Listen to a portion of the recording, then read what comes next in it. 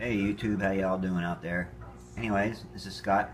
I am adding two new fish to my aquarium. I got a yellow goby. Um, he's a little bitty old thing.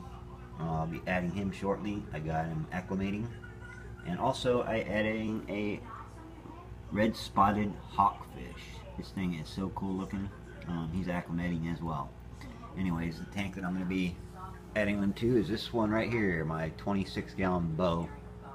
Um, right now I have two Ocellaris clownfish that have been in here for almost three months now. Um, and I have a tail spot blenny hiding in the rock back there. I think you can see his head poking out. Anyways, this tank is fully cycled. Um, I have a protein skimmer up there, as you can see. Um, anyways, I'll add some more here after a while once I get these fish in the tank and we'll see how they're doing.